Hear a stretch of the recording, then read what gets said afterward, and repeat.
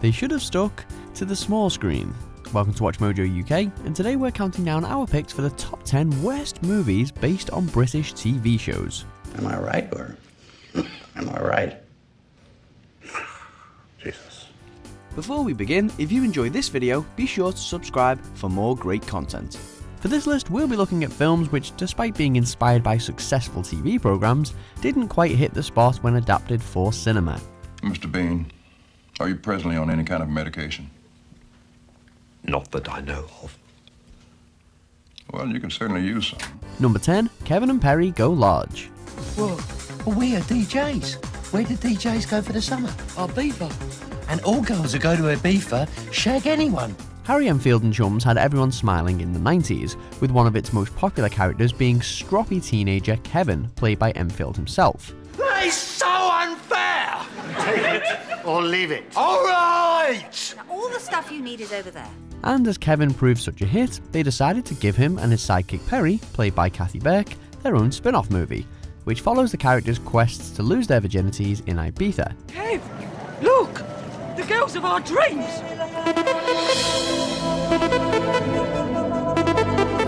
Unfortunately, what worked brilliantly for brief sketches struggled to succeed for a feature length film, although Kevin and Perry Go Large does have a cult fanbase within the rave scene.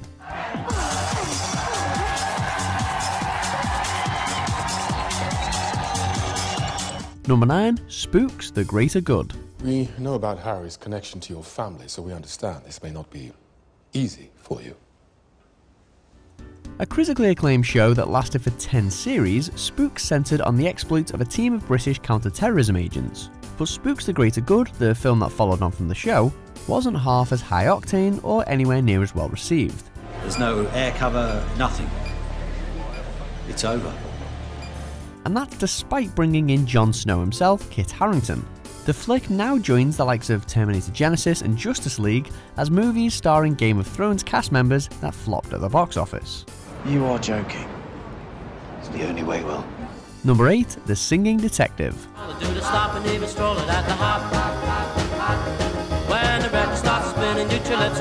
Before finding his calling in acting life by portraying Iron Man, Robert Downey Jr.'s career was pretty hit and miss, as highlighted by 2003's The Singing Detective, a loose and lackluster adaptation of the BBC serial. Downey Jr. stepped into the role first filled by Michael Gambon, playing a bedridden author with a skin disease who imagines himself as a sleuth from his books. Despite a stellar cast including Mel Gibson, Robin Wright, and Adrien Brody, this one never lived up to the name of the show. Danny. I put it, I put it in the thing. I put it up in the shoe boxes and I put it in the closet. Number 7, Absolutely Fabulous, the movie. Yeah. You know, it's about London's premier fashion PR. Yeah, Fabulous. Some things are just best left untouched, as Absolutely Fabulous proves all too well. The 90s sitcom was perfect for its time, following the drunken, wild antics of middle aged Edina Monsoon and Patsy Stone, expertly played by Jennifer Saunders and Joanna Lumley.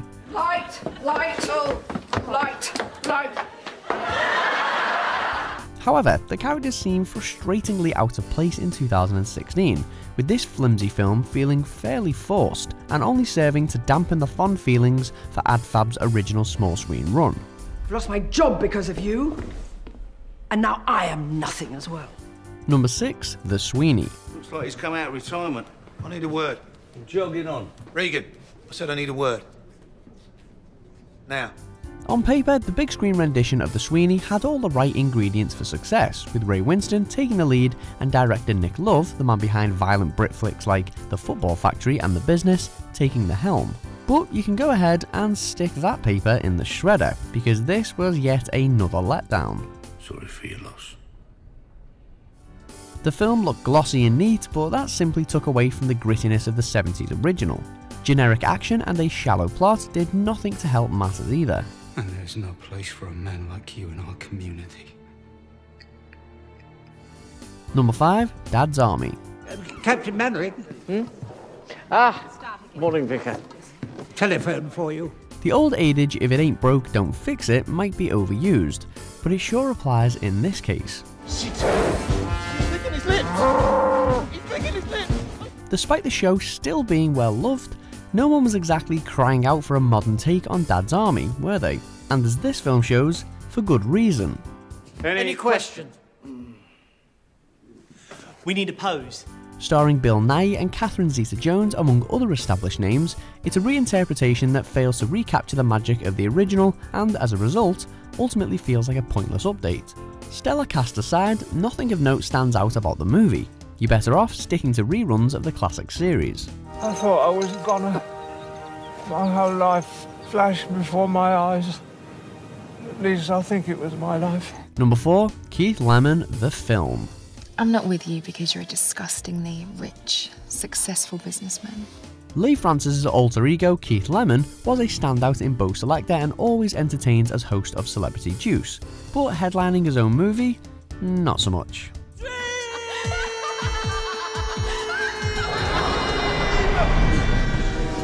In fact, this film proved to be a complete mess that couldn't even claim to be funny in a so bad it's kind of good way, which is really all it had to aim for. Hello, my name's Douglas. I'm going to London. Where are you going? London. And while lots of comedies are littered with cameos, Paddy McGuinness and Peter Andre don't exactly scream star studded, do they?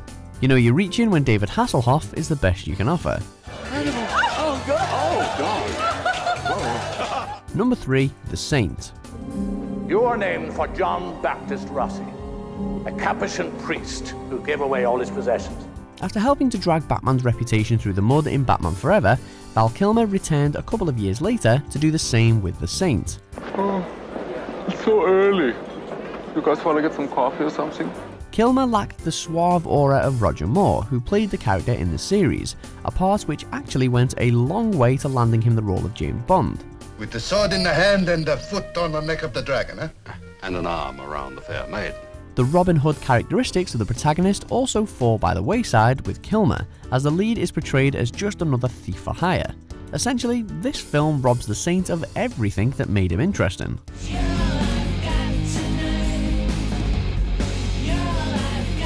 Number 2, Thunderbirds. Female? No, no. There is perhaps potential for a solid live action movie based on Thunderbirds.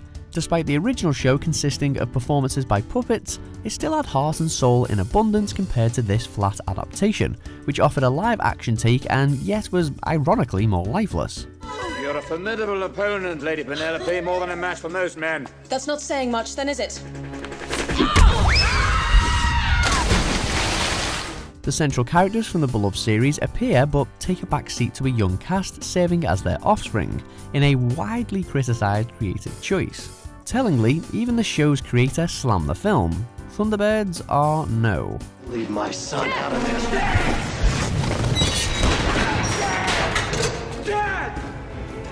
Number 1 The Avengers.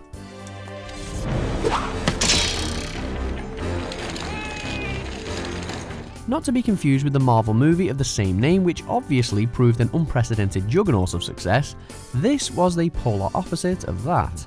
You're not someone who plays by the rules, Doctor. Rules are made to be broken. Not by me.